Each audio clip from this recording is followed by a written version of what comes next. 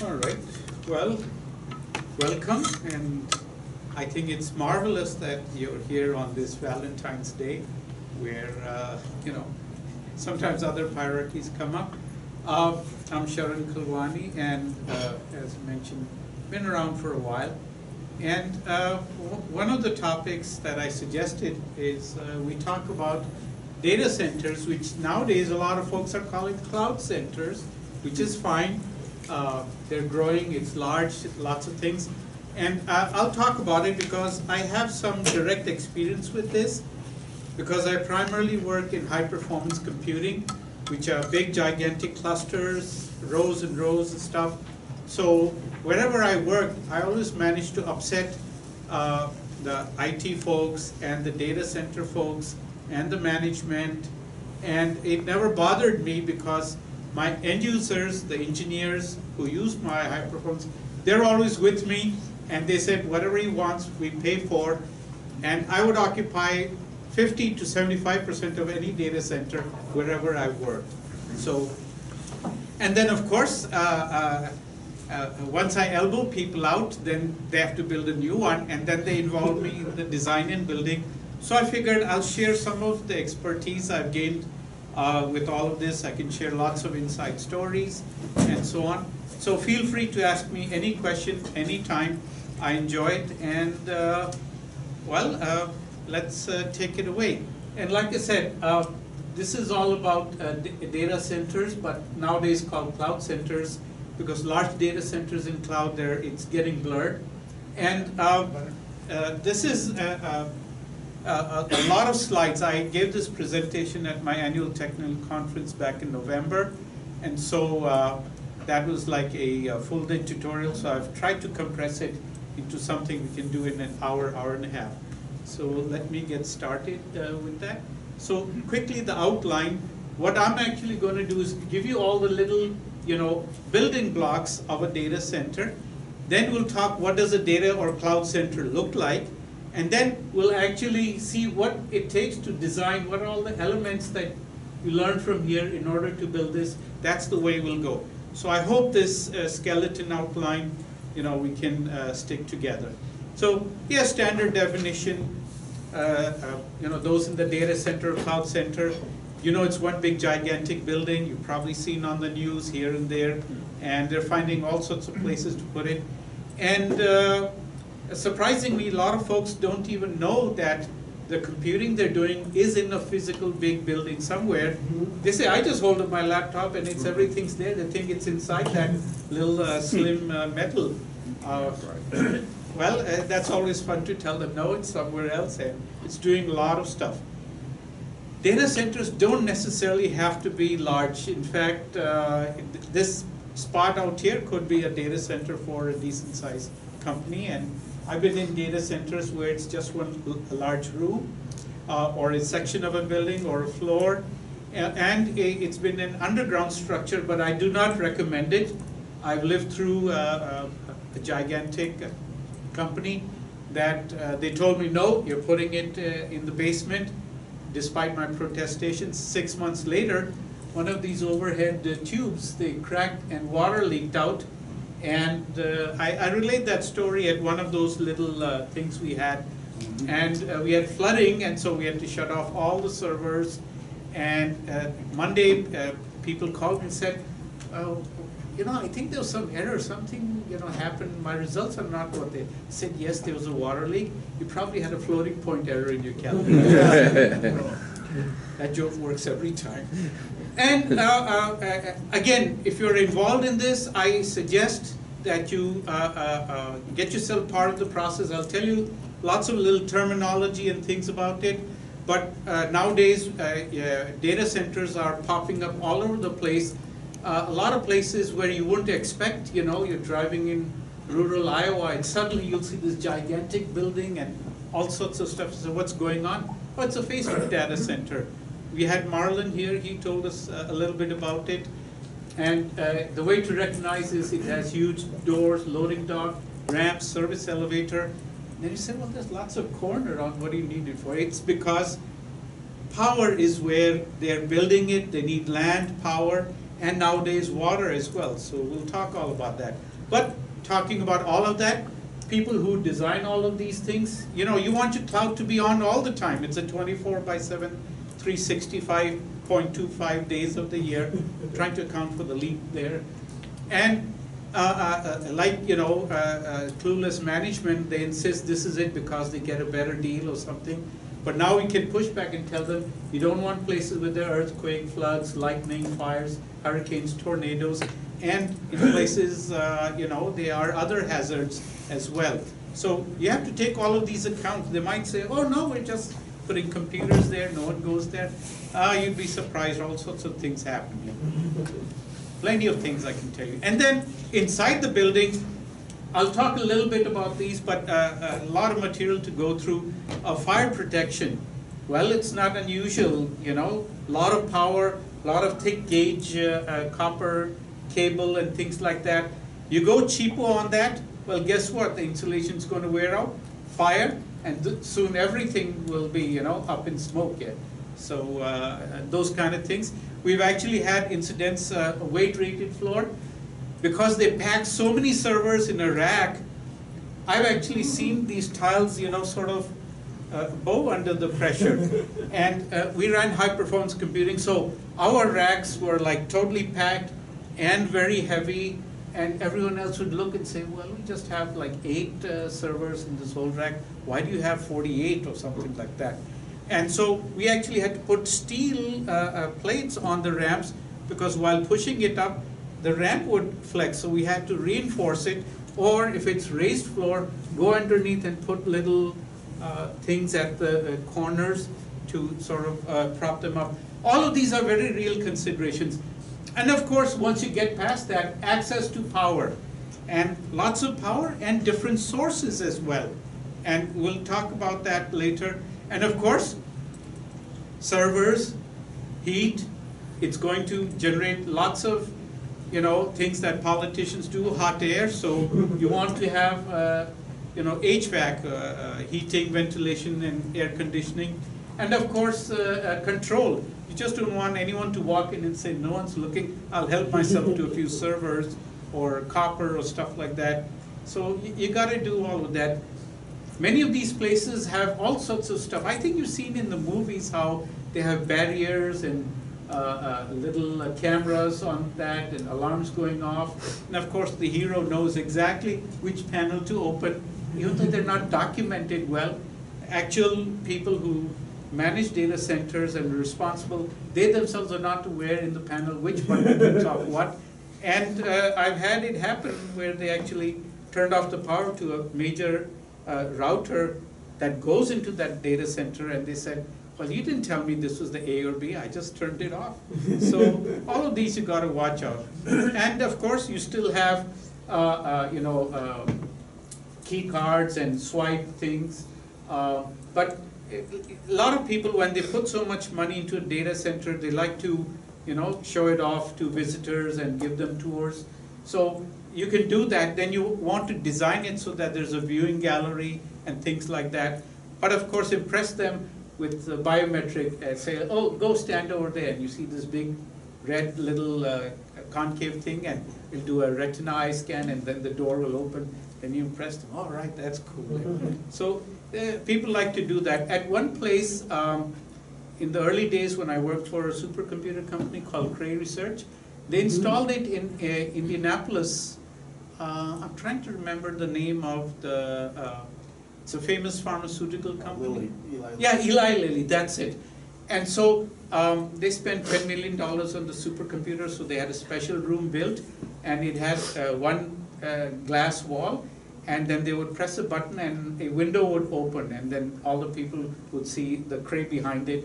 And that was water cooled, so you could actually see, you know, the waterfall cooling and all. So they impressed them with that. So, you know, those kind of things, uh, you have to keep security.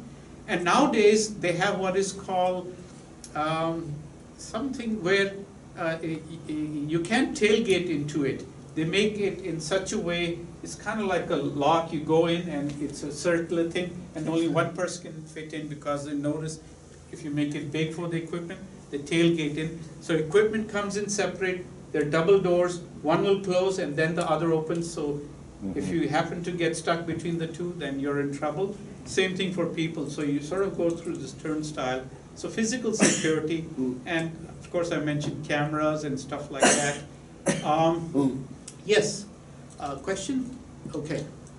Um, power, that's a big thing. What do you need power for? Well, I actually have a pie chart in the third section of this talk where we'll actually see where the power goes, but clearly uh, a, good bulk of it goes to the computer equipment. And then to cool that computer equipment, the HVAC, then you need lighting. Um, typically, you know, uh, most places it'll be dark and all you see is the glow of the server out there. But you need lighting because if you have to go and pull cable or install stuff, then you need to be able to see it. Security, fire prevention, and then perhaps a few other things uh, you'd like. So you need a lot of electricity uh, things up there. And with the march of technology, things are becoming more and more dense.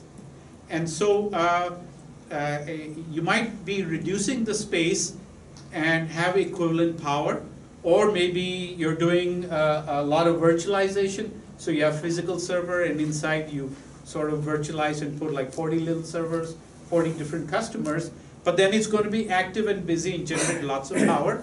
And then guess what happens?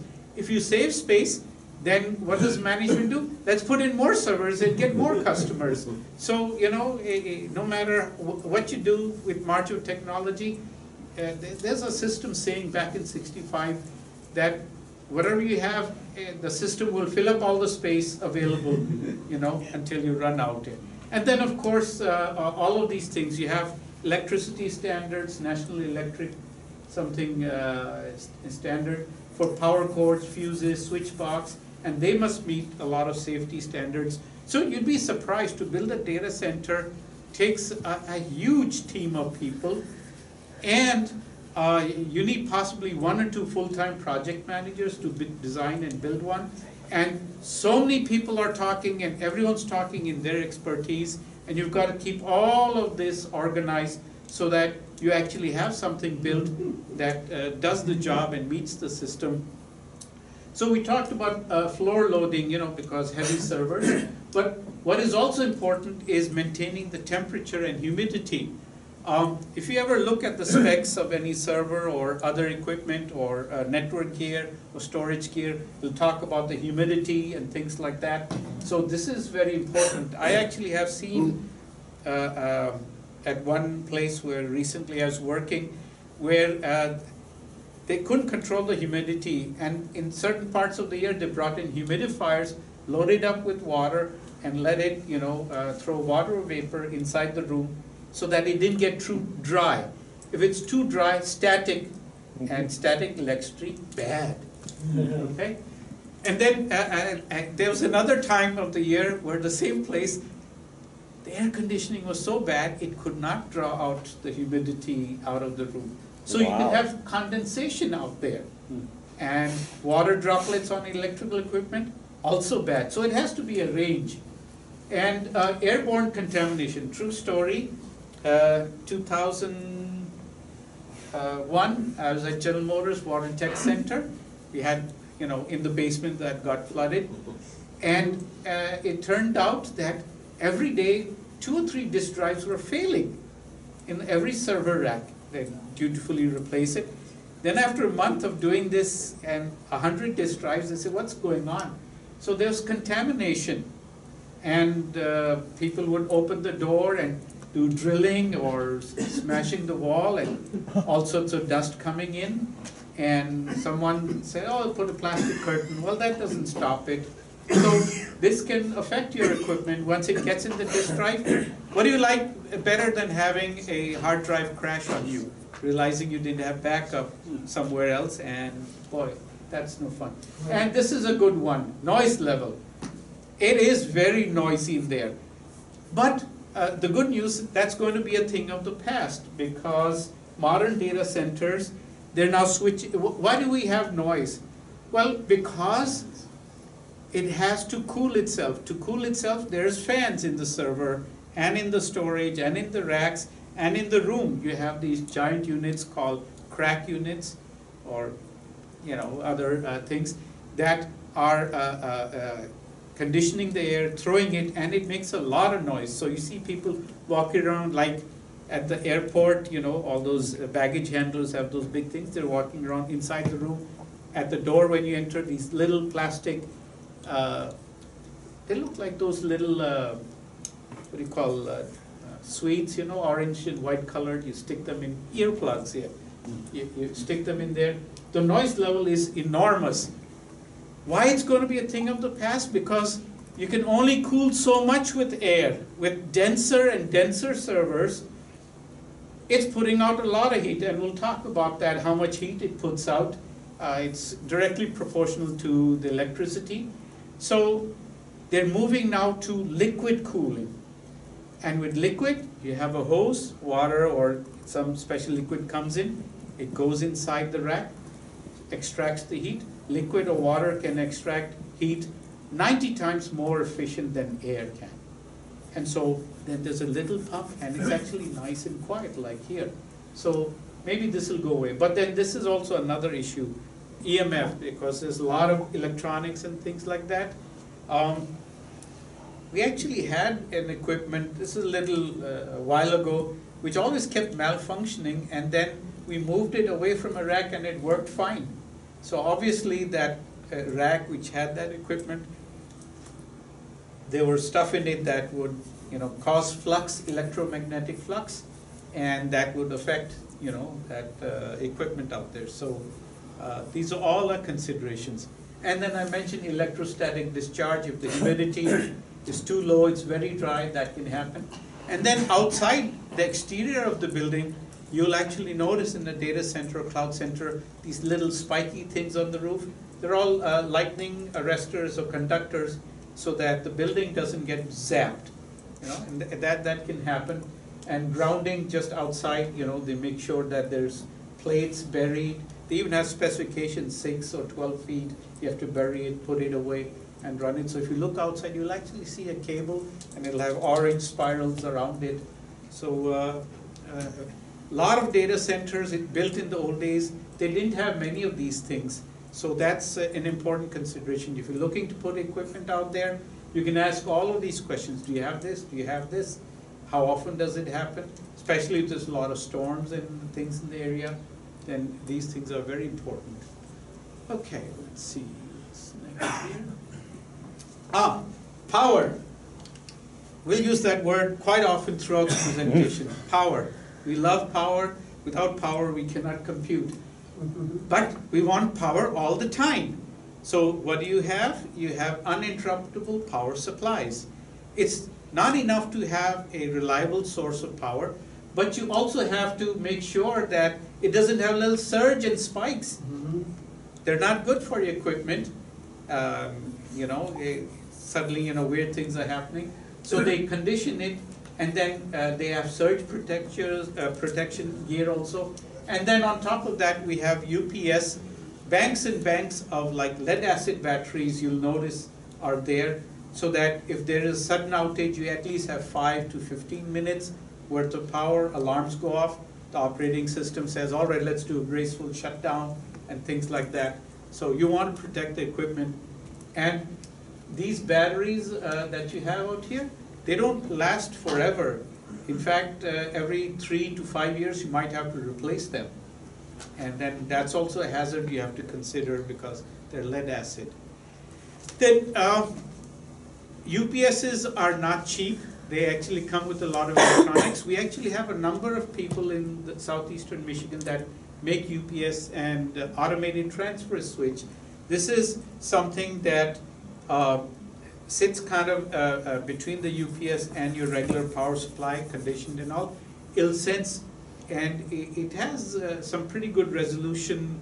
I forget how many milliseconds. That if there's no power, it'll automatically switch over to the UPS and trigger stuff. And of course, you know, fire codes and things like that. Many places actually have generators as well, because they actually ask the utilities if you have an outage, is it less than five minutes? Okay, then fine, UPS is good. But rule of thumb, it's going to be more than five minutes, you'll have to have an awful lot of batteries for 15 minutes, and chances are if it's gone more than five minutes, it'll probably be gone for several hours. then you could have generators out there.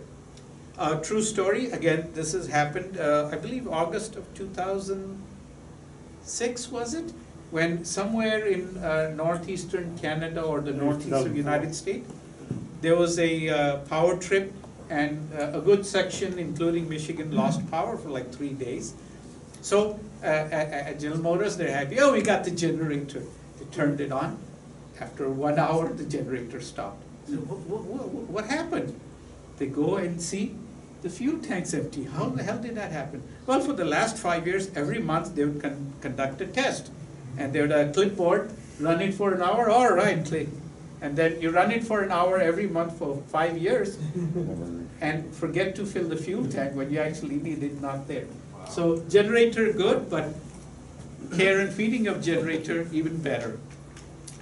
Um, I, I won't say much about the transfer switch. All I know is it's uh, there, it does stuff. And I, I leave it to our electrical site engineer to select the best one. Usually he selects the most expensive.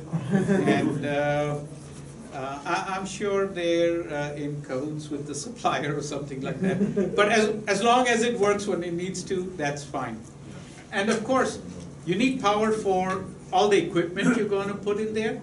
And they will argue with you uh, that, well, uh, you're only occupying maybe 10% of the floor space. Why do you need so much power on day one? Well, because on day two, when you install more gear for customer XY, you won't have enough power. Do you know how much is the lead time to get power from the utility company or get the UPS or the transfer switch? Six months sometimes. Yes. Or you can take a risk and say, all right, put it there, but you won't have UPS. You can charge the customer that, and then when it uh, goes offline, well, then you pay the penalties. So it takes a while, and therefore, you must budget for all of these things. You say, okay, we're having more gear or more stuff coming in, then it must come with a budget to support that sort of stuff. All of these things are important here. So you, you got it right. So these are just all the elements and tools for a, a data center. Oh, the other thing about a UPS, itself it needs a lot of cooling and ventilation and power.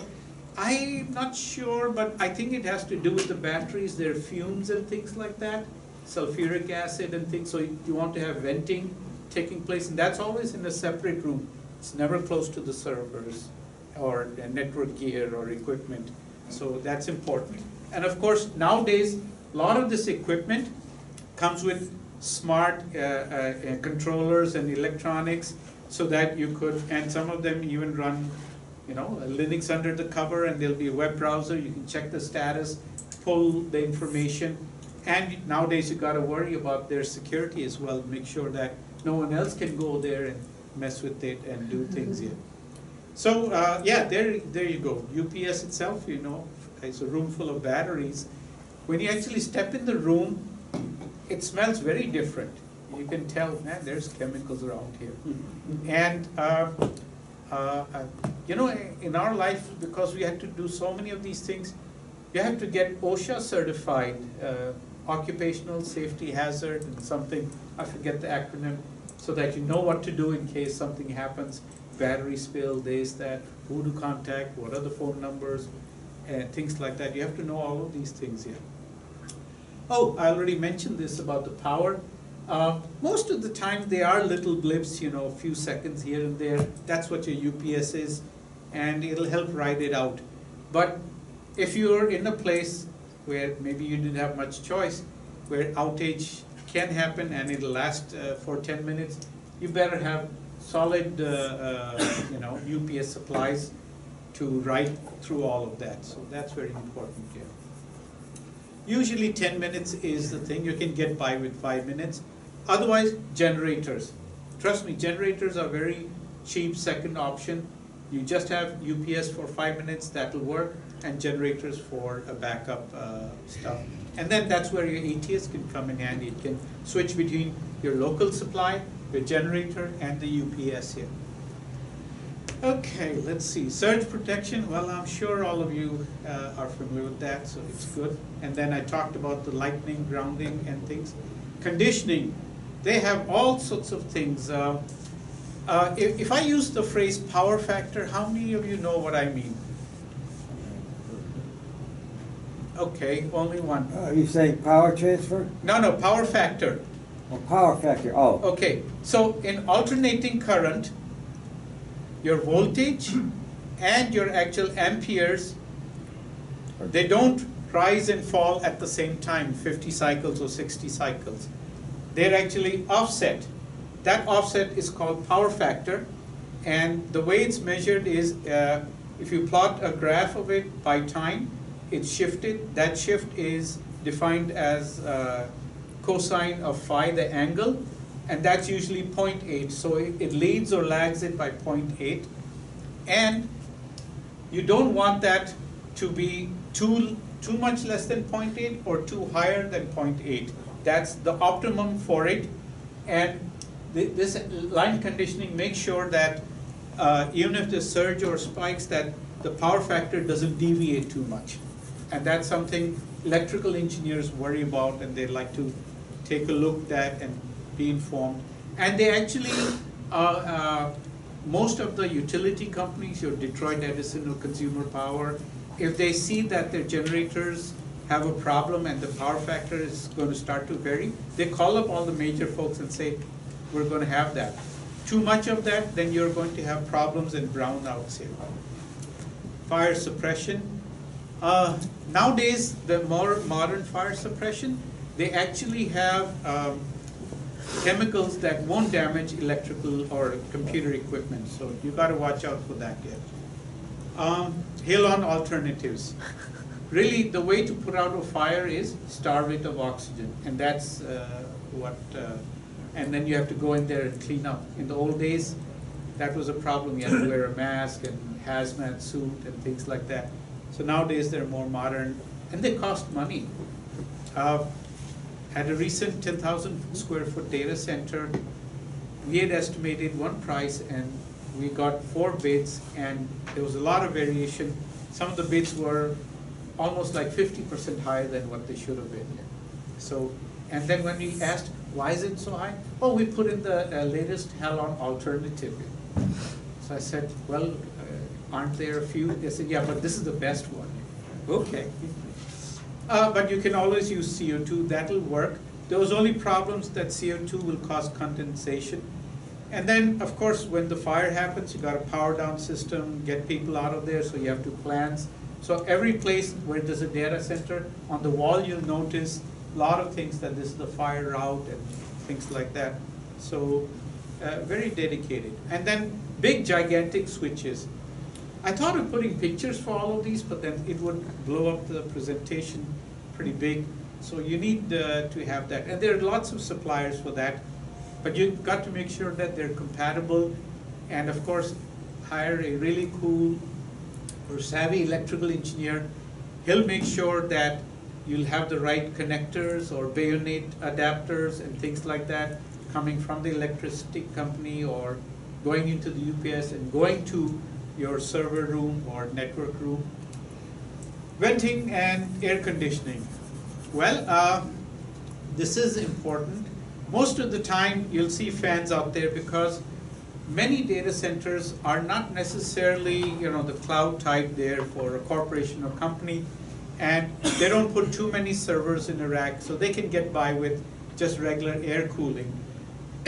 of course, it's nice that you have filters in the front or at, at the back, depending upon where they draw in air. Remember I talked about contamination. And then I mentioned about the relative humidity out here. 40 to 60% is where most equipment is happy.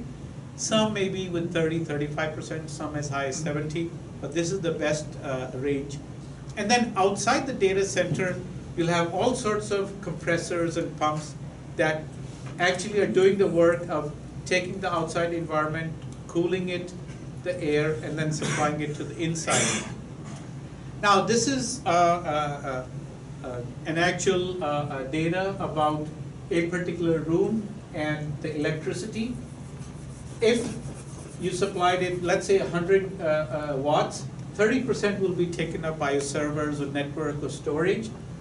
Um, power distribution use will take up some, the UPS will take up some, This is usually just on standby, so just a little bit. The lighting, well, you know, nowadays they have LED lightings. One very good feature I saw in Grand Rapids, there's a major uh, uh, data center or cloud center that has opened a branch there, and they're called, they call themselves SuperNAP for uh, Super Network. They're Las Vegas based. In their lighting, they put LEDs and uh, uh, they have uh, cold air and hot air, uh, hot aisles. So along the hot aisles, they put red LED lighting, and the cold air they put blue lighting. So you instantly know where you are instead of having to feel it. You know where you are, so you can see. All right. So I thought that was pretty cool. And then if it's an air-cooled uh, environment, you have your CRAC unit. It takes up some, and then the chiller outside, which is taking uh, the hot air, cooling it and supplying it to the CRAC for the IT equipment, that'll take up about a third. So, you know, uh, if you say, all right, I have a rack and uh, it's about uh, a total of maybe uh, 12 kilowatts, then you need about 36 kilowatts for that entire room because you'll only be one third of that. Everything else to support it will take up that electricity. So that's how you do the planning. Okay, um, yeah, ventilation is always good. Um, when they forced me to go into that basement out there, it was never built for a data center or computer room. And we actually had spots where you would walk and you'd feel, you know, warm air, and then you walk two uh, uh, racks, and then it's suddenly cold. Very uneven airflow, and part of it was because it was on a raised floor. Underneath there were cables, and the uh, cool air was being forced underneath the raised floor, and the tiles had little perforations. The cables were disturbing the airflow. So even though you're sending cold air, the uh, thick cables, Ethernet cables or fiber cables, they're blocking it. Some places were getting cold air, some places were not. When they came up, then it was swirling. It was completely uneven, and naturally that's bad for equipment here. So a lot of things you have to watch out for. And of course, to fix that, then they put in dozens and dozens of sensors all over. So you got to have that. Now, we talked a, a lot about this, and then the most important things, while you're doing all of this, uh, if some system fails, then what do you do? You have to plan for redundancy. And naturally, it's going to cost money, and it all depends how important it is to you. If you want to run 24 by 7 and things like that, critical or hospital or whatever, then you want to have redundancy in all of these. We'll talk a little bit more about that. But, you know, backup for your server, backup data, image, and things like that. So you want to have all of that information out there, oh, sorry, uh, equipment out there so that you have redundancy in all of these because if one fails, chances are you might have to shut down the rest of the uh, gear as well. Okay, uh, uh, racks. You'd be surprised how many different kind of racks are out there. There are lots of different sizes, shapes, and uh, the whole point is racks are there to slot the servers or slot the network gear or the storage gear. And uh, they're cheap racks, they cost maybe as little as 500, but then they won't be able to do things like cable management. Or the airflow within the rack is not optimum, and that's not good. They can be as high as $5,000. And somewhere in the midpoint you can have, and then if you're doing liquid cooling of your computer gear, then that's going to be a different kind of rack. Or you can get accessories for that. So you gotta watch out for that. So most of the time racks look like this. They'll take out the side panels because then they want to stack them, you know, uh, next to each other, rows and rows. So you don't need the side panels and take them out and you can put cables underneath. This place would actually have room for an ethernet switch, power supplies at the bottom, and then you can run all your cables at the top or between uh, the racks out there. And of course, um, all servers don't weigh the same. Uh, many years ago when I started Life, 1986 when this Michigan user group started, then uh, I was a sysadmin at the Michigan Cancer Foundation. Uh, in the days of uh, Usenet, uh, it was a hub around here, MCF bang exclamation. And then, so we had a, a disc pack, which wasn't terribly big. It's one of those that has a plastic, so we'd screw it in and then run it, and you could see the gap between the platters and stuff like that. I think it was five megabytes or something. But anyway, I, I, I remember someone asked me, boy, you keep carrying these things in and out, how much does it weigh? And I said, well, it depends how much data there is on it. and they actually believed me. So uh, here also, all servers don't weigh the same.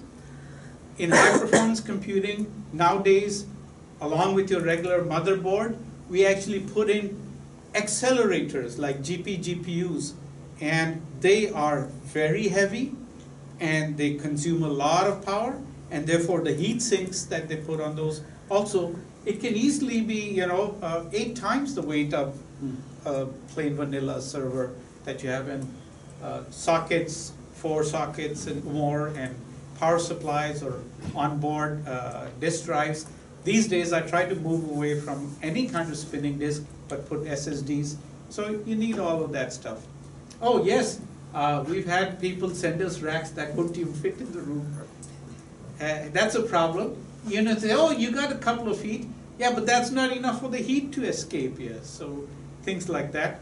Uh, you got to be careful. Most of the time, you'll see standard 19-inch racks, but you'll actually see they are uh, racks of different kinds. So you might say, oh, rack is a rack. No, they are different here.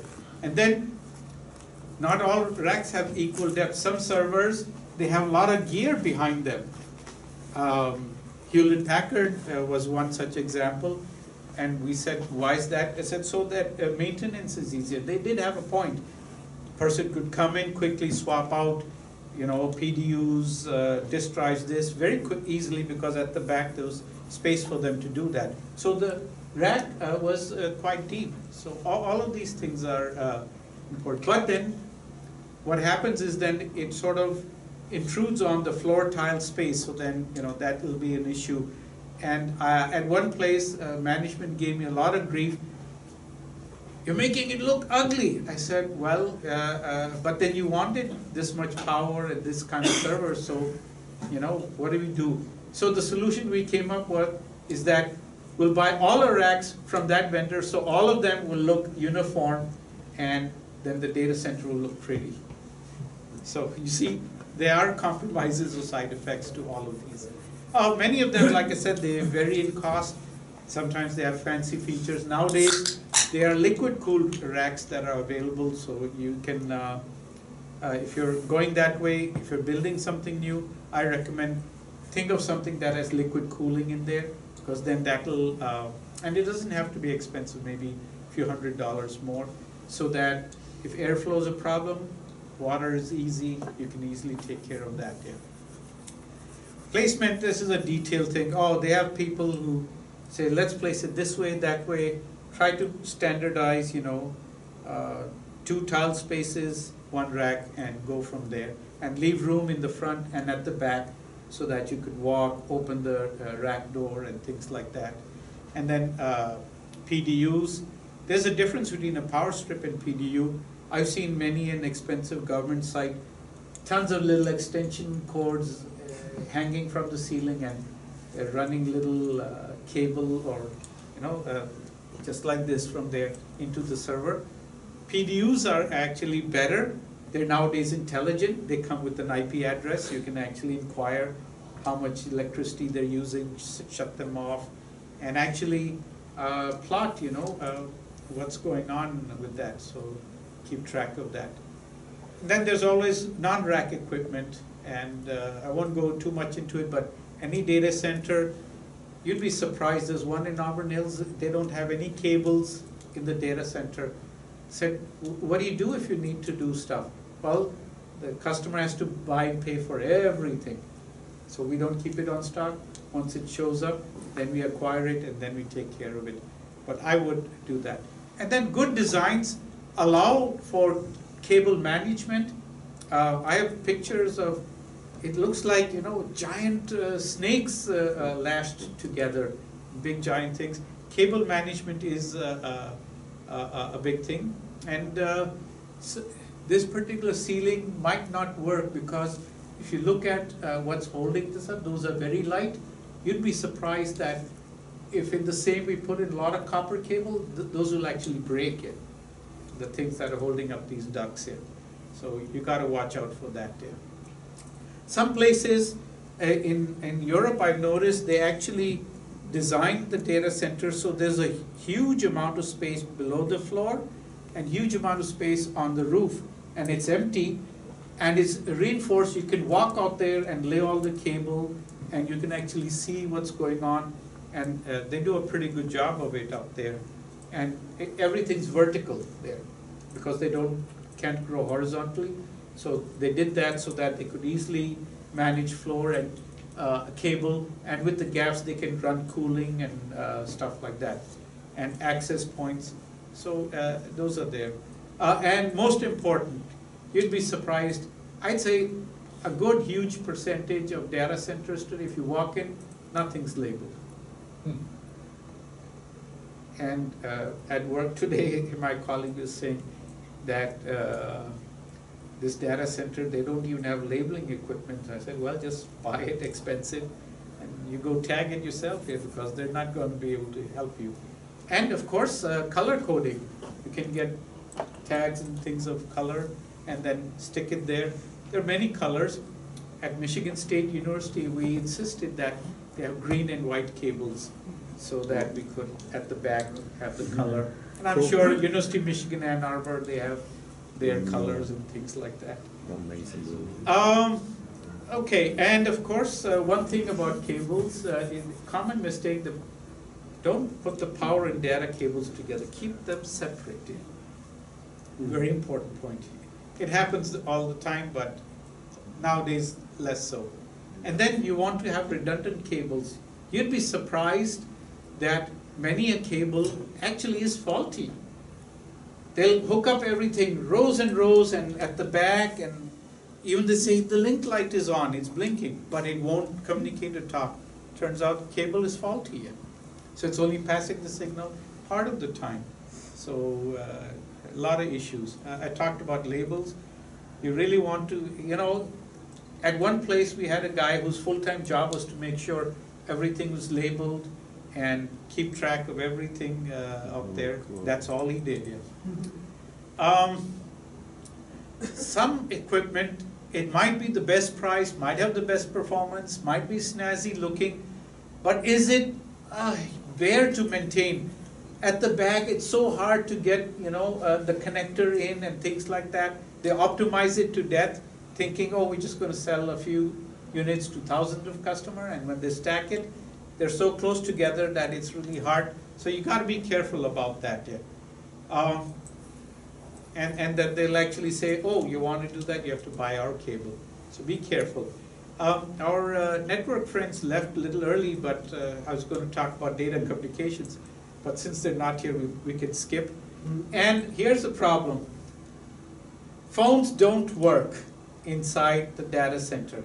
There is enough fan noise, enough EMF, enough concrete, enough steel, that signal doesn't come through. So we used to uh, go and say, all right, port so-and-so, and then we walk all the way to the end outside, close the door and say, it's ACE9. Is that what you are? No, that's, okay, put the phone down, walk all the way. So, you know, uh, you'll see these data center folks are pretty fit. They do a lot of walking because you just can't talk inside there. It is noisy. So, um, you know, and consoles and things, that's why you have these network operation centers that look nice and snazzy and it's uh, separate and uh, it's very quiet. It looks like, you know, the NASA control room or something like that. And, but that's not the real data center. They're far removed and insulation. The real data center, all the action is uh, quite, uh, quite noisy out there. So most of the time you have a little cart, serial cable and uh, little uh, terminal. Uh, In fact, a lot of people thought they were junking terminals, they ending up in landfills. Actually, a lot of them I find in data centers on a cart. And uh, serial works cable and your uh, green on black uh, DEC VT100 is still around there. And Some of them even graphical will default to xterm equal VT one oh two or something, so it works. And have a tool, little uh, tool area also in your uh, data center, because you have to keep track of a lot of these things. And of course, one of the things we insisted, any equipment that is to come, we have a separate staging area where you bring it in, and then a separate area where you unpack all the cardboard and foam and plastic, you put it there, don't bring anything inside the computer room. Because what will happen, your styrofoam will crumble, and then it'll fly around, and then it'll get stuck in the server somewhere.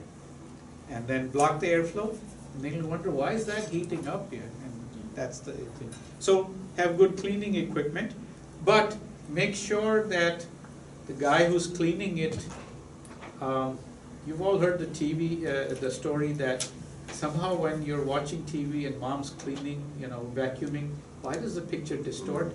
Well, it happens in server rooms, so get some of these modern uh, stuff, vacuum cleaners that won't put out a lot of EMF here.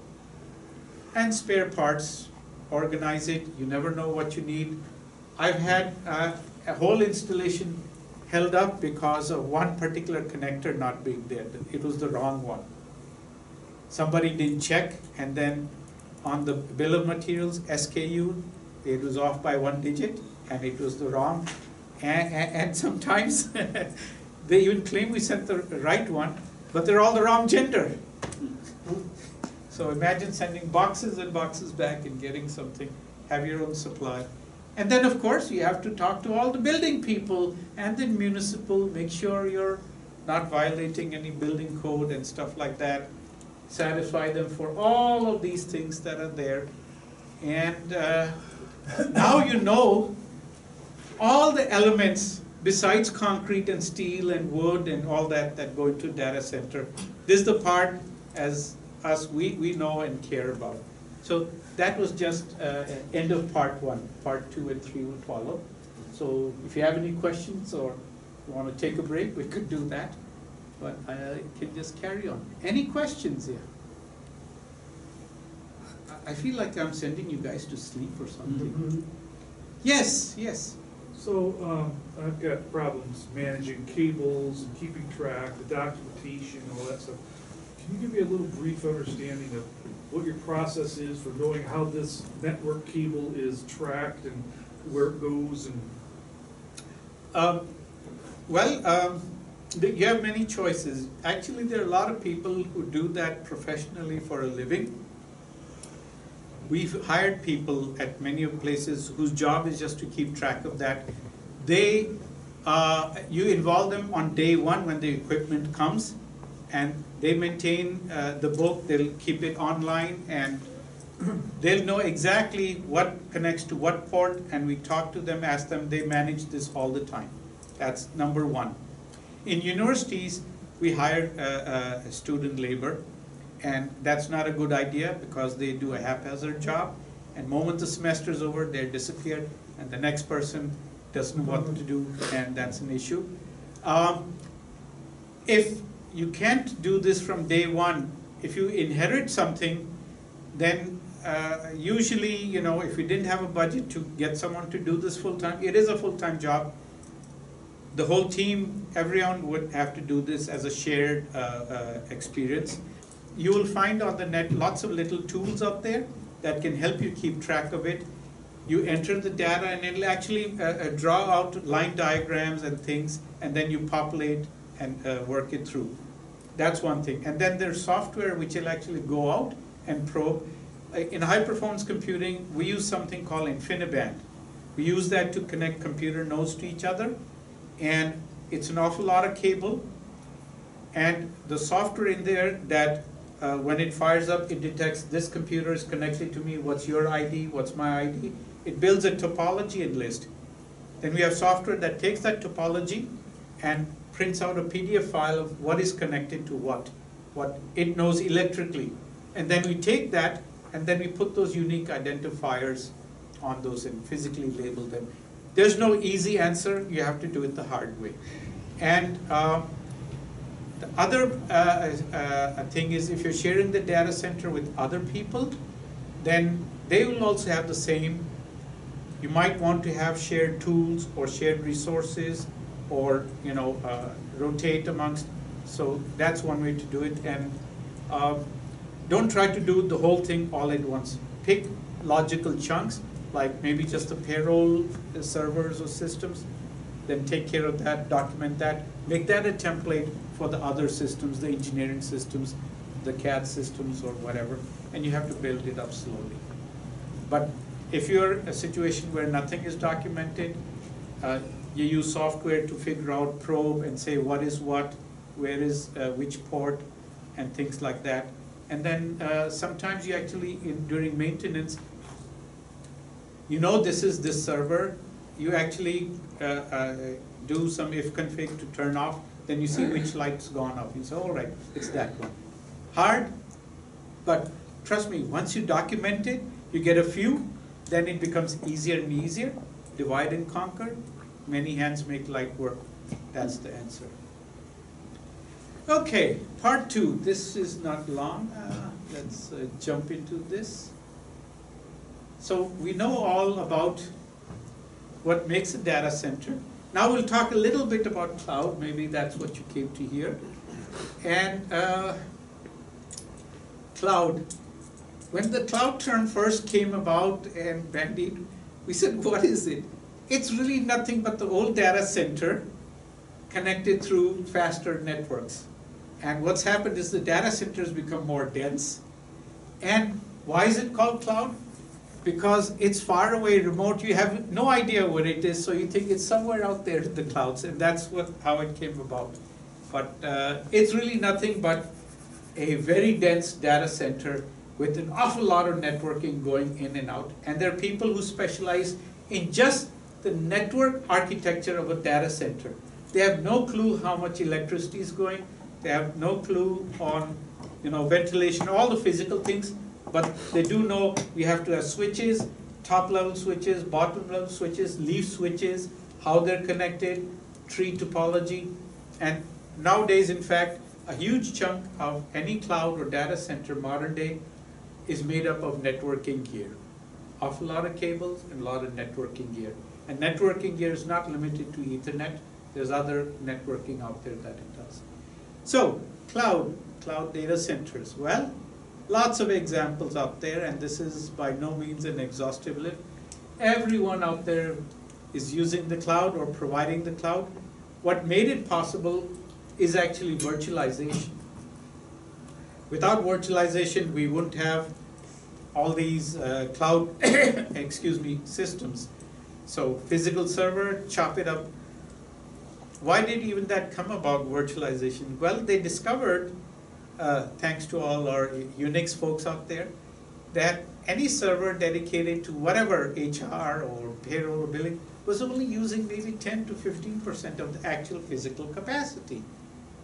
So virtualization came along and said, I'll chop it up into eight pieces for you. You can give this to one department, another department. Then they got smarter and on a physical server, don't be surprised to see about 100 different uh, either applications or 100 different uh, virtual uh, machines running. Each is unaware of the other running out there. So that's how we got our cloud uh, out there. Uh, this is stuff when I share, you'll see, you know, with every new technology, what's the first thing that happens? The hype. Everyone will be there on the street corner hawking. this is the best thing since sliced bread and billions and billions of dollars. Should do my Carl Sagan accent. Billions and billions of dollars. Uh, and there's plenty of them. And uh, do we have any uh, major cloud providers in the area? I seem to remember one in Lansing, uh, Liquid Web. I think they were taken over by a Chicago-based company. But Liquid Web is uh, pretty big and they have uh, several data centers using Linux, Red Hat, and tons of stuff. So there's uh, lots of. uh, Is it uh, Secure twenty-four in, in Southfield? Yeah, yeah, I, even they do, Farmington Hills, maybe? and they, they do a lot of uh, networking actually also. And they do manage a lot of servers for a lot of people and storage, yes. So lots of cloud providers, let's see. Uh, And no means an exhaustive. But there are three different kinds of clouds out there. There's your private cloud, public cloud and hybrid. Private cloud actually is where a company owns everything lock, stock, and barrel. It's not available for outside use, but it is far away and global offices, they can be sitting in Zurich and doing all this stuff, but all the data is actually sitting somewhere in maybe Iowa and they have high-speed connections. I have a problem with a lot of people bandying cloud as the answer to everything. In my business, we do an awful lot of calculations. What happens when you do an awful lot of calculations? You have an awful lot of data, right? And that data is pretty huge. Uh, uh, we do simulations. Each simulation that a car designer or engineer does produces anywhere from 100 to 500 gigabytes of data that they need to constantly read, write, do I/O on. And each engineer does anywhere from 200 to 1,000 simulations every day. so we have massive I/O. If I took the compute and moved it far away, it has been discovered to the dismay of many that the network cannot keep up. No matter 40 gig, 100 gig, it's not enough. You cannot do I/O fast enough over those long distances. But why does the cloud work? Because one of the most popular applications in the cloud are lightweight, email, or uh, one-way streaming of little video images, or uh, stuff like that. These are lightweight applications, so they can get away with that, but when it comes to engineering, that doesn't work. And so they can have a private cloud, it's on the campus, anywhere in the building you can access. The distances are short, so it looks like, oh, it's in the cloud, but somewhere, I don't know if it's in this building or the next building. That's a private cloud up there. A public cloud is all the examples I gave before, your Amazon and uh, all those others. And as a matter of fact, most of the cloud people are either doing email or storage. So you want some place to store all your pictures you took on vacation, or the Apple or, you know, phone or whatever, or Google Android. So it, it's really the storage that is a big chunk of the cloud. The compute is a small fraction, but it's growing because applications are very lightweight. Uh, little apps out here on, on the phone, like the weather app, it's actually pulling, and in the cloud, the- they store the latest weather forecast, and they're just pulling it for you. A lot of young kids, they actually think their phone is calculating and figuring out the weather. No, some giant machine somewhere has computed it every ten minutes, puts it into a storage server like this one out here, and everyone else draws from it. That's how they work. And it came from the web uh, also. And then hybrid is a little mix uh, of the two, where you have applications that are proprietary in your own premises, secure, and then things that are like maybe the web uh, uh, facing of a corporation that they can put in a public cloud, and that's good for them because the web is lightweight. It's really images and text, and so they want that anywhere in the world people should look at our website, see what our offerings are, what our products are. So that's why Amazon got into the cloud business because they found they were selling stuff, people all over buying. They invested in a lot of equipment, gear, and data center, and then they discovered we have spare capacity. Then they said, let's sell that too. So that's how they got started, and then everybody else said, oh, me too. It does save time and money as long as whatever you're doing fits the definition of a cloud. And here, uh, this last line out here, but if you're doing massive I/O and you need the results fast, cloud is not for you. Might change maybe five, ten years from now, where hundred gigabits is the minimum, and we have maybe a terabit that's possible, then, okay, we're talking, because I/O to the disk drive, we do it very huge, you know, petabytes writing and reading at huge speeds, so I don't know optical uh, uh, fiber, what is the upper bound? I believe it's six hundred and twelve gigabits per second, and if they bundle enough together, you can get a terabit out there. So, what is a cloud? Well, it's really a bunch of servers somewhere far away that you aren't aware. Indeed, it's a cluster. This is kind of like a Superman thing, you know? It's a supercomputer, it's a data store, it's Superman, it's all or none of the above, it's, it can be anything. But the fact is, it's tons of servers and lots of storage behind it. That's what it is. You know, Facebook asks them, they'll say, hey, we're the definition of cloud. Anywhere in the world, all your pictures, all your video, everything is there. It's available. So uh, it can be a single site or multiple sites, and you have all of these things in there. And we described many of these physically that we have, but you have to have tons of uh, network, lots of storage, and then you duplicate this geographically all across.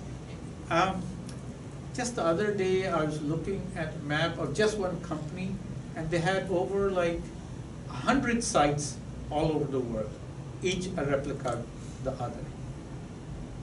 And that's how they're able to provide seven by twenty-four.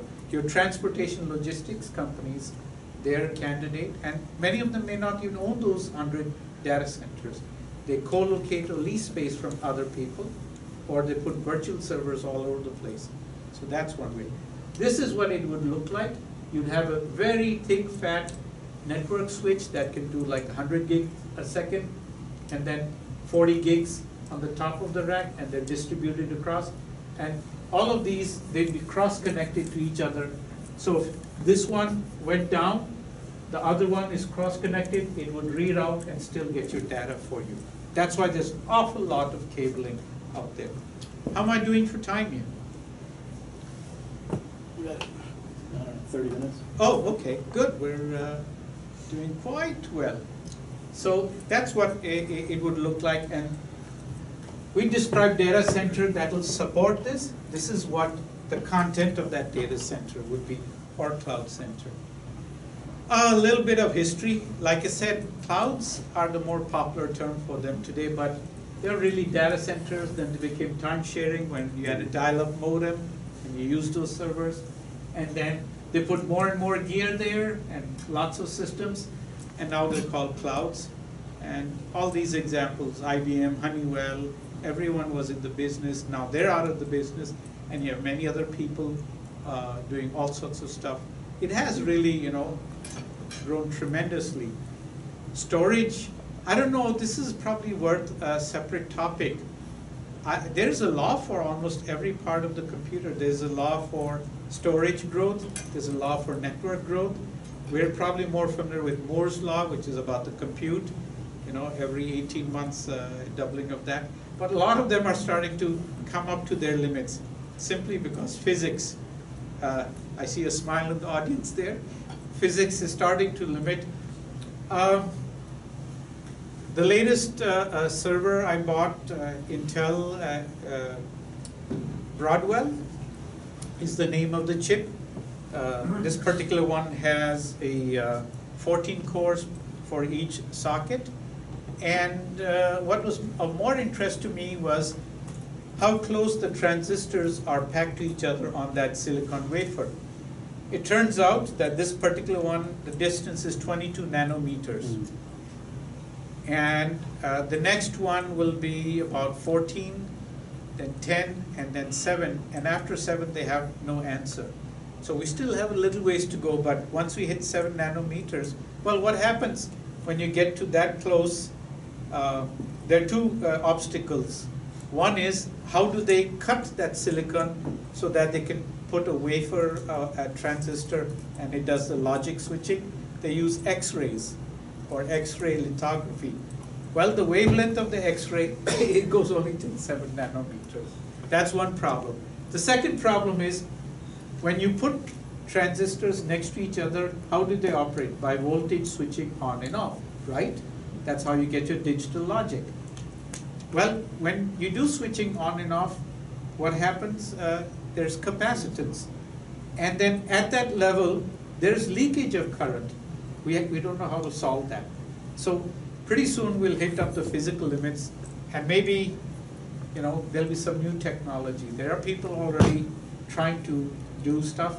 They call it quantum computing. I'm waiting for it to happen. Uh, I hope it happens uh, because we're getting to the limits uh, as far as regular compute is there. Clearly, you know, computers moved in 1990. it was a big deal to write a program that simulated the chemistry of a single molecule. Now, they go into many sub-levels and they produce many petabytes of data.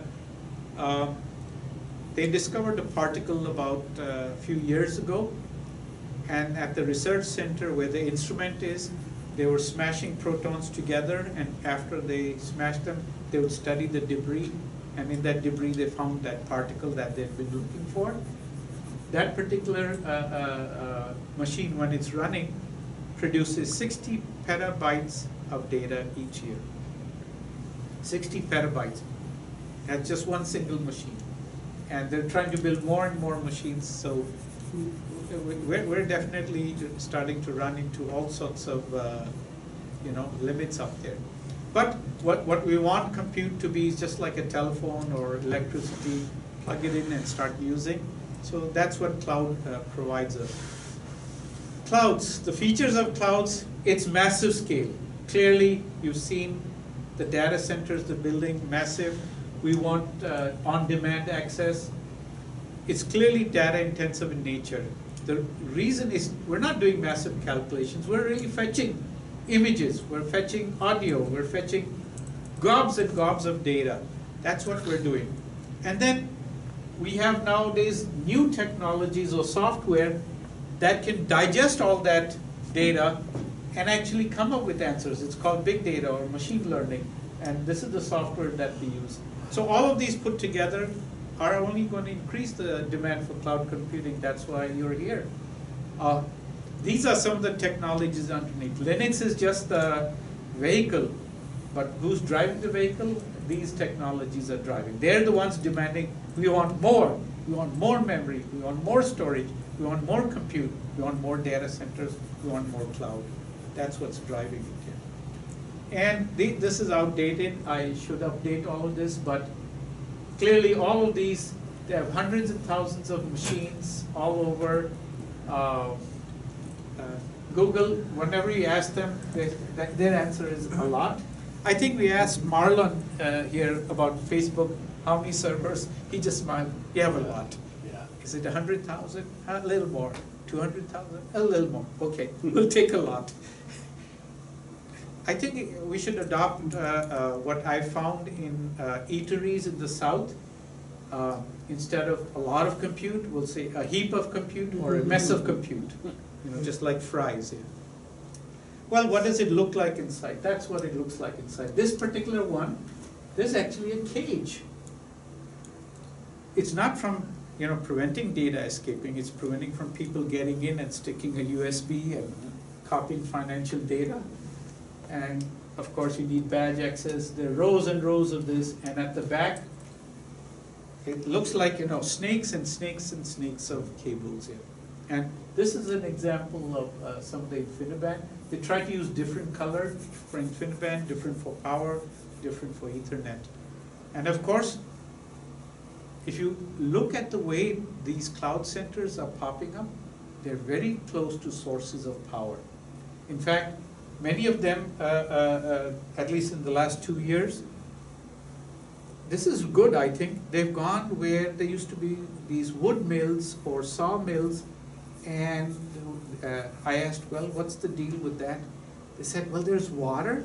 We hook up a little hydroelectric generator. We have our own captive power.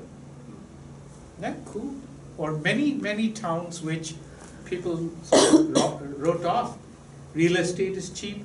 They actually have a source of power, either it's a, a river or dam or there's already a plant there, captive power.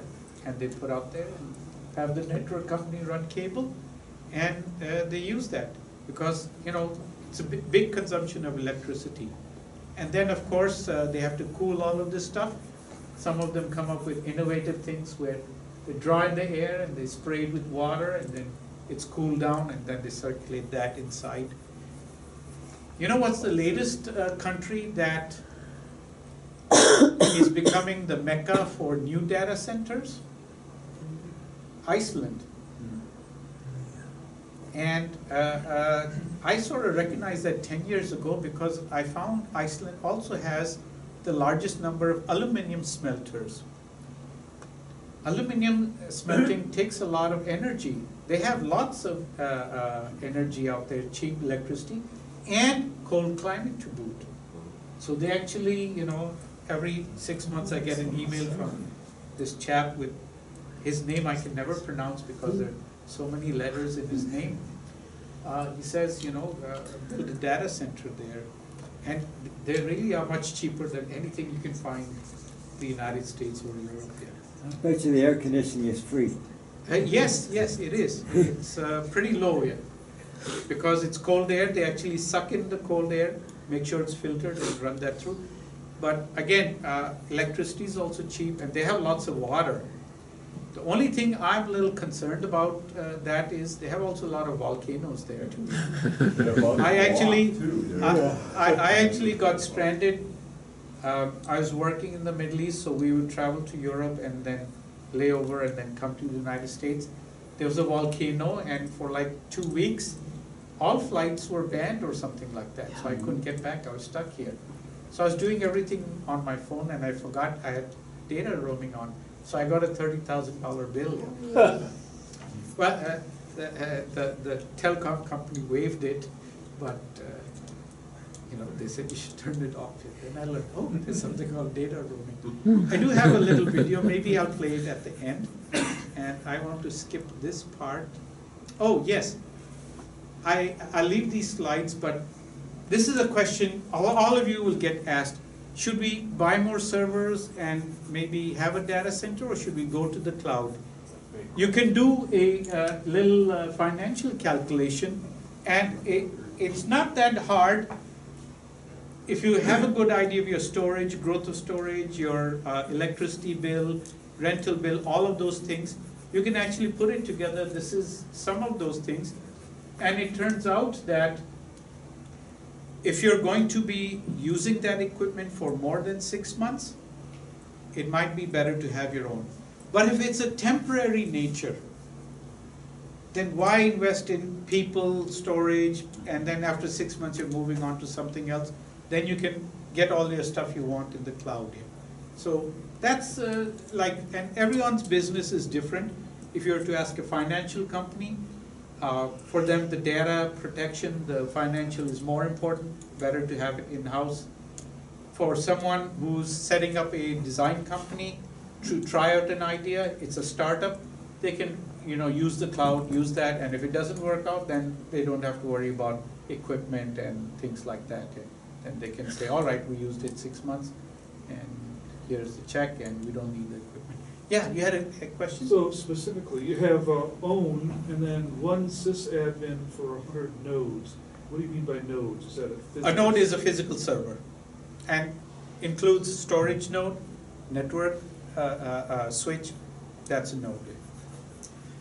So this is just a sample calculation, but, uh, you know, everyone's business varies, depends, but you can use this as a guide and refine it.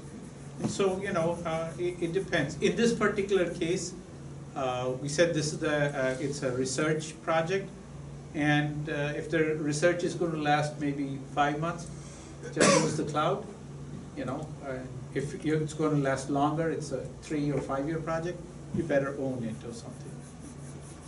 Uh, yeah, you had a question? But no, I was gonna say, I think a lot of the, the attraction, just one major one, is the scalability of using the cloud.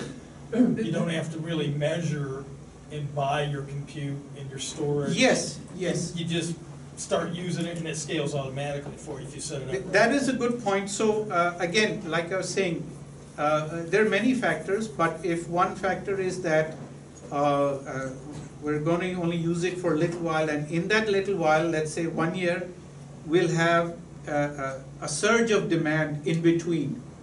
Why buy equipment?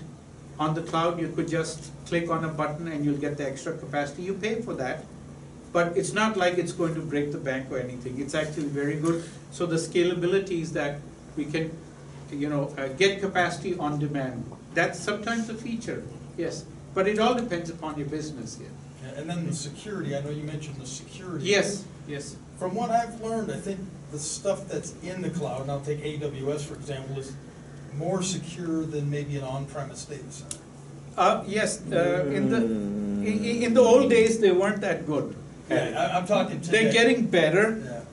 Because they've got, they've got encryption, client-side encryption, AES two fifty-six, it's sent across encrypted, it's stored encrypted. Um, we But, but, but also, that comes at a cost too. The, the throughput will be slower, so it depends upon your business and, Yeah, but- I'm just saying the security's getting better. yeah, yeah, it is there, but, um, again, you know, uh, it depends, a lot of people, for example, those who are uh, dealing in the medical field, they have to, uh, uh, comply with regulations like HIPAA and things like that, you know about that. So, sometimes if they insist upon that, then the price goes up or it's steep. So it, it all depends, but everyone should do their own cost-benefit analysis. And make sure you include every aspect possible, and look at the long term, is it short term or long term? Most of the new customers today for cloud providers are actually startups here. Because they have an idea, they want to be nimble on their feet, try out something. They don't want to hire, you know, a lot of staff because if it doesn't work out, what do we do with them? So they use the cloud a lot here. And then it, if it actually works out, the business works out, they can then have their own private cloud and go to the public cloud whenever they need more capacity. So they keep the same infrastructure. They actually install all the elements of AWS in-house, so you can do that, yeah.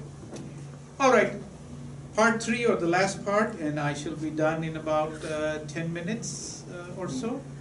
And then can uh, have networking talk and eat, or whatever Jim likes here. So, quick review, we talked about all of these things.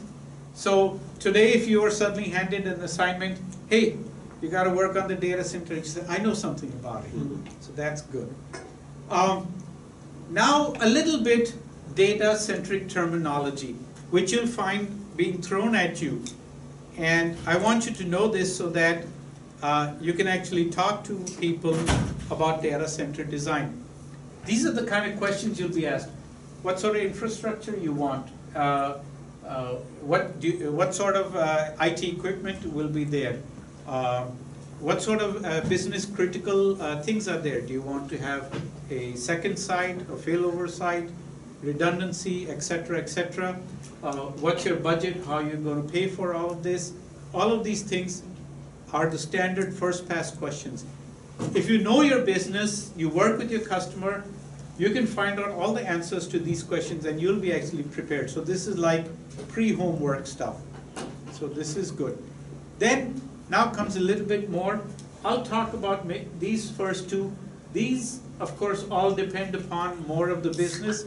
It's hard to give any general guidelines because it'll vary on the size of your company, what your uh, growth or future plans are. That will, has to happen by sit down, face-to-face talking. But availability infrastructure tier, you'll find many data centers claim to have some sort of availability and how they classify them. Oh, we're tier one or tier two or tier three. Well, what is that? Let's talk about it. So the availability is, we guarantee it'll be up and available, all the systems will be there all the time, some of the time, ninety-nine percent of the time. That's what it is. So, if they say we're like ninety-nine percent, that's called two nines. Ninety-nine point nine nine, four nines, so on and so forth. What that means is they have to have lots of redundancy in there, so they can make that claim. And it translates actually into the inverse, how much downtime can they tolerate? And it looks something like this. So this is the table. So if you're at the bottom, you say ninety-nine percent, that means throughout a year, the total downtime will be about a little over three days. And, and that's fine. And regardless of size of server or anything, then you get more and more, and then anyone who claims to be like uh, six nines, which is very tall claim, and there are a few who claim and they make you pay for it, that means it's available all the time. There's only thirty-two seconds in the entire year that is not available. So that means if they have to do their maintenance, they have to have plenty of redundant systems up and down the whole stack, horizontally and vertically. So this is what it is. Uh, most of us live out here. Which is fine. AWS claims eleven nines availability. Well, Right. that's because they have an awful lot of capacity. Yeah, yeah. Eleven nines. yeah. What's that called in bingo? I know what's this in Is that even a second year at eleven Uh, th- th- I, I, I imagine it's on all the time, there is no downtime period here.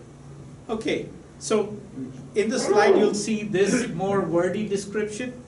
Here's a more easier description that I'll leave with you.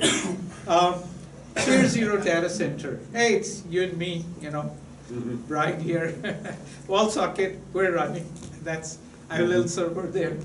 Or uh, tier one, uh, it's your basic data center, they actually have enough power capacity, but there's no redundancy. So if Detroit Edison goes offline, you're offline. Tier two is where most of them are, they actually might have a single pad for power, but they have redundant components like a UPS or generator or things like that. Tier three, they have multiple paths, they have multiple sources for electricity, they have UPS, they have generator, and they have extra servers or extra networks so that they can work on part of the system and your applications are running on the other, you don't notice the difference. It's available all the time globally. That's where a, a lot of good ones are. And this one, tier four is the highest, there's no higher than that. They actually have complete redundant duplicate data centers all over the place. And they will seamlessly move your application. You're on the web browsing, using that to enter critical data. It goes down, or the network goes down, it automatically reroutes you. Your browser session is placed at another and you don't notice the difference. So that's your tier four. That's what you need to know. And if you talk anyone data centers, they'll ask, uh, are you a tier one, tier two? There are people who actually have tier two point five. So what it is, they are pieces of three, all of two, and so they can classify themselves as two point five. But make sure in the pricing you say, oh, we'll go to two, no fractions or half stuff. Um, Of course, um, you know, data centers are getting bigger. Do you want one large data center or many small ones? I recommend one large one, because many small ones, they'll all have their caveats or idiosyncrasies or exceptions, and that's more of a headache. So put everything in one. Of course, we used to learn as kids, don't put all your eggs in one basket. But then you can say, well, if we're doing that, then we're gonna be tier one or something. And the higher the tier, the more expensive, clearly. Okay, so now you know about data center, tier one, tier two, that's the lingo that you'll hear from most of these folks. If you're building one, it's best to find a contractor who knows everything about compute, construction, networking, uh, heating, cooling, electric power, everything. And it's usually a team of people, at least 30 or 40 people that all go together, work together, have experience, and have actually built these systems. Don't go to someone and say, we're all talented, but this is our first project.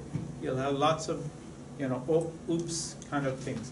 So there, there are a few out there that have built many a data center, or they take over an old data center and bring it up to code. They do that too. Uh, at Michigan State University, we are interviewing a team, and they said, "Oh, we got this, this, this," and then they gave one example that uh, at a particular university, um, they didn't have land for a new data center, but they told them that there's this old residence hall, and take that over, make that our data center. And so what they did is the largest area was the kitchen or cafeteria. So they ripped out the stuff, renovated, and you know, so that they could put cables and racks and cooling and all that. So I, I said, uh, uh, uh, excuse me, so you mean to tell me that you took uh, th- that giant kitchen and you turned it into a data center? They said, yeah, that's right. I said, wow, that's cool. Boy, that sure gives new meaning to the term cooking your data. So, these are the people who you have to have in your team. You have to have a facilities guy, the IT person yourself. You have to have a network engineer. A data center manager is separate from an IT and network guy because he'll know all the systems, what's connected, He'll be the guy who's, I would uh, tell Gibby here to hire, make sure he knows which cable is labeled where. That's the data center manager. If you don't know, fire him or her and say, you, you need to do that. You need a real estate person, you know, because you gotta make sure the building code is kosher and all that. Project manager, someone who would make all these cats, you know, uh, work and play together. Architecture firm, you know, they know how to produce the blueprints and say, no, you don't wanna have three point five inches opening, you wanna have this, you need these baffles here. Uh, a contractor who can actually build stuff, an electrical contractor, a mechanical contractor that will put in the ducting, cabling contractor, he'll know how to lay power, get the right gauge, right insulation, make sure the electricity, lightning, everything. That's a minimum that you might wanna have, and guess what? For each one of these, I would insist there'll be two people. Because if one, something happens to one, then the other can take over, uh, vacation, sick, whatever. So you can see by that list, it easily becomes a forty team people. Therefore, this is not cheap. You know, there's people working for you, so you got a lot, lot of things to uh, worry about. Okay, so moving right now. And then finally, I told, told you about tiers, I told you about contracting, the building. And the most important thing in a data center, you might even get asked, what's your PUE? Power usage effectiveness. And um, this is a big deal. What this means is, fine, you got all this fancy, fancy equipment, you got all this stuff, it looks cool, you got this viewing gallery, you got the tours and fancy lighting schemes and all that. But what's your PUE? Power usage effectiveness is how much electricity you're sucking, how much you're actually using for effective compute, and how much is getting wasted to keep that compute going. So that's what it is. The theoretical ideal PUE is one that means everything you're taking in, you're not wasting anything. But in practice, some of it actually gets wasted. So it's really the total facility power divided by the IT power, the actual compute, or include storage and network in that as well. So here's an example, and we saw a little diagram earlier, but this is a place whose PUE is not very great. Most likely an ancient data center where they're using air for cooling. It costs a lot of energy to move cool air. That's why water nowadays is preferred. The IT will take up thirty-three percent, the cooling will take another thirty-three, and then the rest of it. So when you put it through that formula, your PUE is three. The inverse of this is data center efficiency, DCIE, uh, index efficiency. So it's only thirty-three. You want to get it as high as possible. Most super efficient data centers are between one point two and one point four. That means they've designed their mechanical cooling systems, their electricity systems, they put in efficient servers, they management the flow of air. They have uh, things that are monitoring it so that there's very little deviation in you know the air temperature things. A lot of these go into it. So their HVAC and things are very efficient and the IT equipment that they put in is also very efficient. It's not putting, so they try a number of things so that they can have very good PUE. And the better the PUE, that means it's efficient, it'll actually probably have a smaller electricity bill or things like that.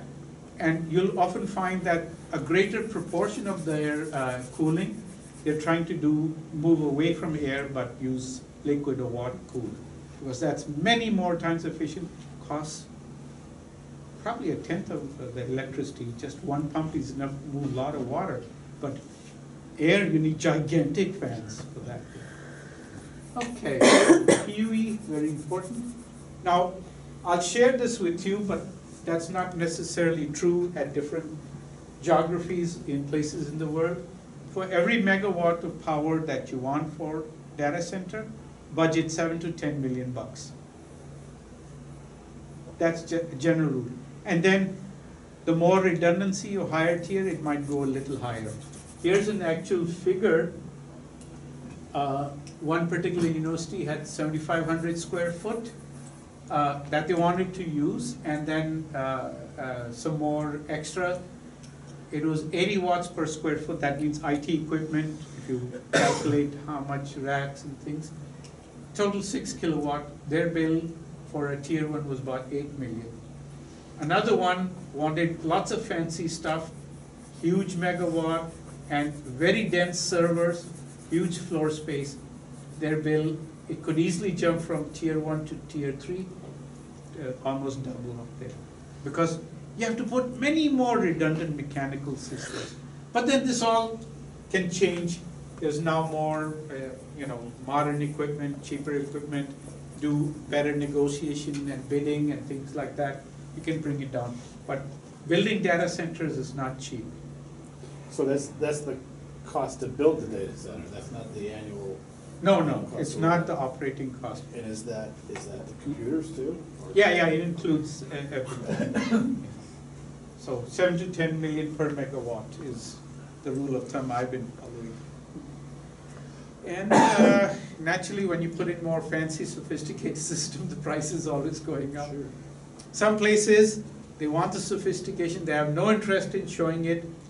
Their data centers look ugly, but man, the PUE is pretty good, so they look at the bottom line, the bill. So it depends. Well, that brings me to the end, and I think I did okay on time. Yeah. Uh, Just quickly, I wanted to show you some of the backup slides, if you care. Um, There's a graph in there. In the old days, it didn't take up a lot of electricity or power the racks, but they've been trending upwards a lot. So uh, this has to be updated, but this is accurate and true for the last several years. And I've left a lot of, uh, you know, there's a lot of online journals that you can read about data centers. There's a few books. The second one is what I've used a lot. That one talks about uh, clouds uh, specifically. And uh, the other is about, you know, stuff that you can use for practical data center building. And then they are actually uh, uh, formal standards from National Institute of Standards or British institutes and European. They actually are uh, pretty uh, big documents that you cannot get online. You can get, but you have to be a member and you pay anywhere from three hundred to uh, three thousand dollars to get a physical hard copy of these standards. But if you build according to these standards, you can get certified real quick. That's another thing. So I'm just leaving that for you. And last, last, last thing, trivia. We all have heard of data center disasters. Which, which particular factor out of all of these is the biggest uh, or leading cause for a data center issue? Three. Three, three. Yeah. Good. That is the correct answer. Human error is the biggest. And then if you ever look at some uh, design blueprints, these are the typical uh, symbols that they use. Uh, This means this is a remote power distribution panel. This is a transfer switch. The UPS looks like this. Uh, Generator is uh, got a little T and circle there. And then the filtration looks like this, humidifier. So all of these, they have standard symbols, so you can look at a blueprint, if you find these, then you got it. All right, thank you very much. Any questions? I have a quick question. Yes, uh, So- uh, uh, uh, just one quick Go thing. Uh, Maybe, I was trying to find that little video I had. Yeah, it's, Uh, Let's see if we can play it. you teased us that you had a video, now you, now you better. Let's see if it'll uh, work here. Okay, it looks like it will. You only have Oh, hang on. Oh, have to do it again and then I'll just move it here. This is a time lapse of a video. uh, So how do you go full screen in this? You click this? Up at the top. What the heck viewer is that? Yeah, uh, you had a question? Yeah. So one of the things I was thinking about with, with really large data centers, and even ours, which we have a couple data centers and aren't that large, um, tracking the equipment, like at a glance, so do you generally find that, is there a software online or otherwise that you find is good for keeping track of it Yes, rather than like Excel yes. spreadsheet or? Yeah, there is. Yeah, it's the- these contractors, they'll actually uh, recommend, this. it's called DCIM, Data Center Infrastructure Management, DCIM. Okay. And there's software available. And with the design, they can uh, also give you software you can, and it, it can help keep track of everything. Uh, They themselves, when building it, they need to do that. Yeah, for sure. Everything is already figured out before even the first brick is laid there, right? And so they have DCIM, then DCIM, there's a second part which does monitoring also. Monitor the temperature, pressure, voltage, pathway security, so there's software for that. So we used to, um, tag our servers with an IP address to sort of manage the hardware over time. And we're finding now that IP addresses are not, Not a good idea. not gonna, you know, they're gonna change, they're gonna move Right. things around and stuff like. So is there a, I mean, do we use, a hardware address of some type?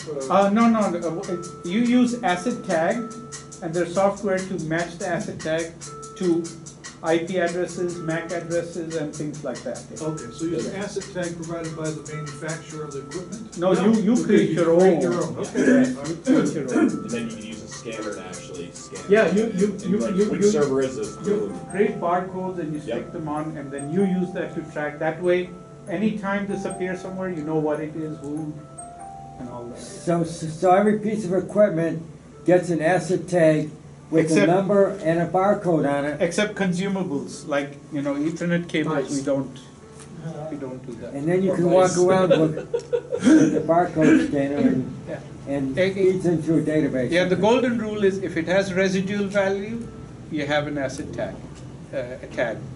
It has to have residual value, means resale value. Some of those assets are like a board inside of, how do you asset tag, uh, You, you can actually marry it with a chassis. and Put it in say- the chassis Yeah, and say, somewhere. they, they, they, you cannot separate the two, it goes together. One asset essentially.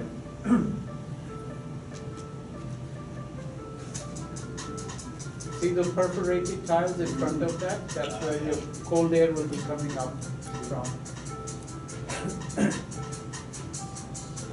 And it can take almost a year to build a data center. It's, uh, even if you renovate an old one or uh, take over SUPERNAP in uh, Grand Rapids, they took over some many, uh, Steelcase? steel case, they, they make, you know, office uh, Furniture. uh, furniture. They took over their stuff, and where they had trucks that could pull in, I think, they made those server rooms. So, see, that's a small room, yeah? Yeah, Four months. It seems So- like it's, uh, you know, only using a small portion of the available space Yes, too, yes, yes. which I don't understand that. They're scaling up eventually. Okay. Okay, thank you much. Jim? Oh, very nice.